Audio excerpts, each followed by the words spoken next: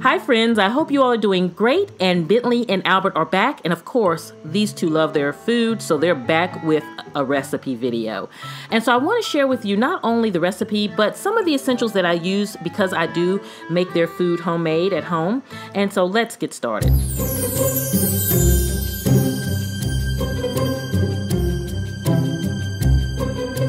So one thing that I find very helpful is to have a large mixing bowl because I like to make their food in kind of bulk, semi-bulk, you know, for the week so that I have enough to last me a good couple of days. And another thing I have to have is the nutrient. So another thing that is important are the nutrients. Fish oil is one that I love putting in their food along with their doggy nutrients because you know I'm cooking human food but they need certain nutrients and so I make sure that I add that into their food. And so I have one kind that's for more of the poultry, and then I have one that is more for the beef.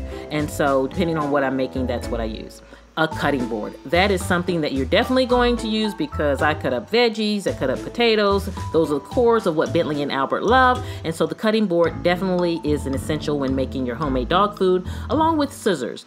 Because I have little pups, I have to cut their food up into bite-sized pieces for them. So when you're making dog food for your pups, it's important to make sure that the bite sizes are appropriate for the size of your dog. And so I usually, especially for their broccoli and potatoes and things like that. So so what we're making today is a staple that Bentley and Albert love. They love potatoes. They love white potatoes and they love sweet potatoes, but they tend to love the white potatoes better than the sweet potatoes. They love them both, but they'll tend to really go after the regular potatoes.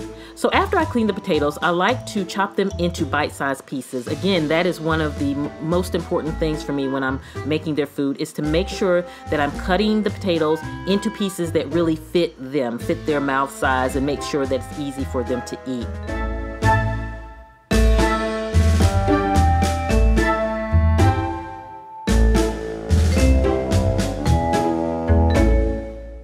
So now that I have all of the potatoes in bite-sized pieces, I love kind of just checking them out to make sure that I have not missed anything. And then what I'm going to do is I'm going to roast them because I can have them roasting as I make other parts of their meal. So one thing that I like to do is use foil on my pan because it really helps with the cleanup. And sometimes when I'm making their food, it's after work, I'm tired, and I really want to just get in and do it. And so this really helps with the cleanup.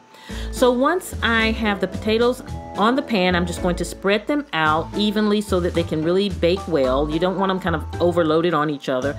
And as you can see, for these two little pups, they really can eat well. So again, I'm doing one quick run through to make sure that all the potatoes are bite size. Again, that's where those scissors, those kitchen shears come in so handy for that. So next I'm gonna take some extra virgin olive oil and I'm going to coat all of the potatoes with the olive oil and then we're ready to put in the oven, usually about 425 for about 20-25 minutes and then you're good to go.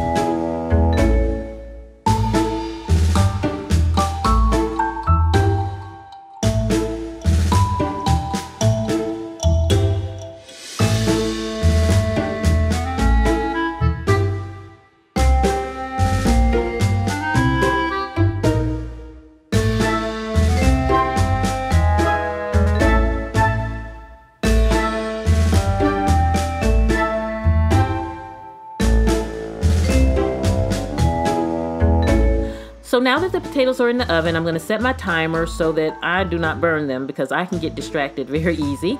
So the next thing I'm gonna do is rinse out my bowl for my veggies. And I like these veggies that I throw in the microwave for six minutes and then I can have them ready to go. Again, this is on those days when you really wanna just kind of get the meal prepped and done because uh, sometimes I either forget to make a batch and I need to make a quick batch. This really comes in handy.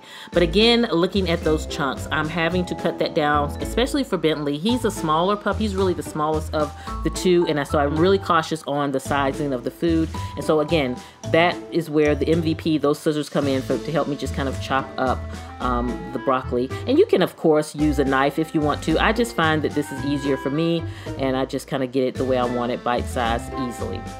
So what I'm going to prepare now is their meat and what I'm going to do is the chicken livers. That's the quick meat that I'm going to add in for them today because they love it and it's simple and easy. It doesn't look the best. It's kind of gross. It, it grosses me out a little bit, but they love it so I deal with it.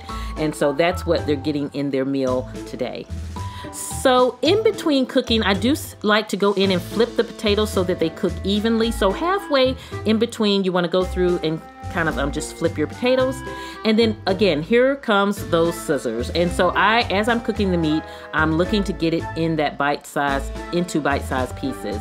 And so now I have my meat done, I have my veggies, and I have my potatoes. A well balanced meal for my little pup pups.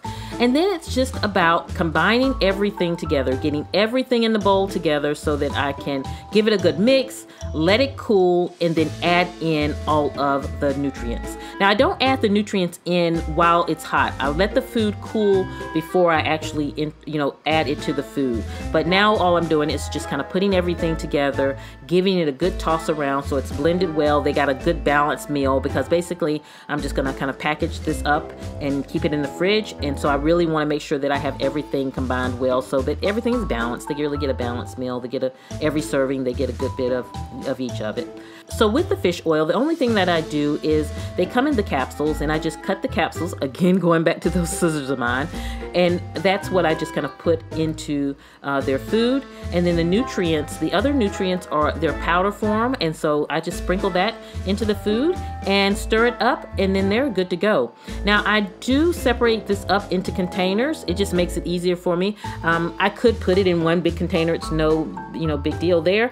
But then I am ready to serve them up and they go to town. They absolutely loved it. Those two, all you have to do is go call them and say, hey, it's dinner time, and they are running downstairs ready to eat. Those two are too funny. But friends, I hope you have enjoyed seeing what Bentley and Albert have had for dinner this week.